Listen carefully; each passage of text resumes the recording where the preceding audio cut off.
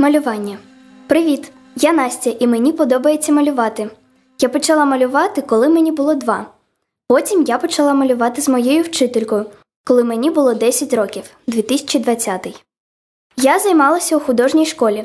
Ця школа називалася Соняшник. Перед тим як я приїхала до Швейцарії, я жила в Україні. Як я почала малювати і цікавитись цим? Цікаве питання. Коли я була молодша, я іноді дивилася мультфільми. І одного дня я подумала: хм, можливо, я можу намалювати людей з мультиків на папері? От так от.